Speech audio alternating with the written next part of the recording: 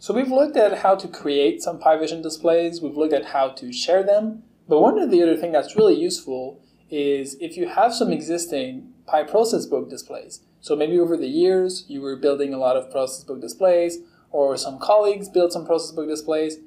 Well, with ProcessBook, you need to have the application installed in, in your computer. But what's great with PI Vision is you can incorporate those displays in a read-only mode, bring them into PI Vision, and then you can access them simply from your browser, as we've been doing this whole time. So you can access them on mobile, you can access them on a computer that does not have process ProcessBook. So let's say I have a display like this one that someone has built over the years in ProcessBook, a very complex display.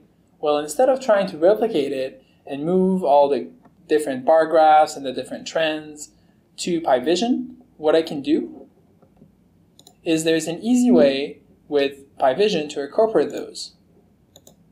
So for the class, we have on the desktop the ProcessBook displays for CoreSite shortcut, which takes you to a share folder where any displays that is saved in this will be appearing in PI Vision. So if we go back to PI Vision,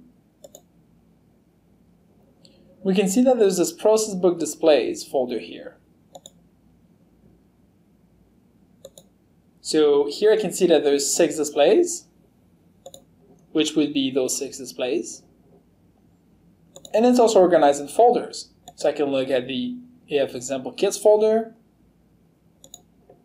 which is the AF example kits here. So in this case, I can see the exact same display,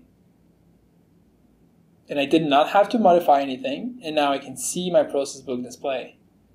So this is a really great way to take those existing process book displays and move them to either mobile or having to any computer that does not have ProcessBook.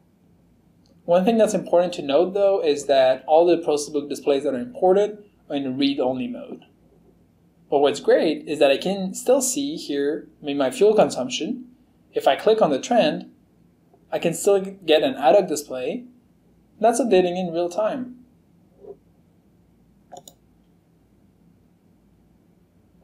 So maybe what I can do is if I had a display, we've learned about how to use hyperlinks, so we could link any of our PI Vision display to maybe a more advanced process book displays that has been built over the years. So therefore you get both of them linked together. So this covers most of the features of PI Vision and really at this point invite you to build a lot of PI Vision displays, share them, ask colleagues to tell you what they think about it.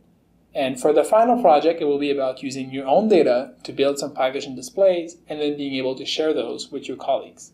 So I hope you've enjoyed the course. And if you have any questions, concerns, or any comments, feel free to talk to us in our PI Square community.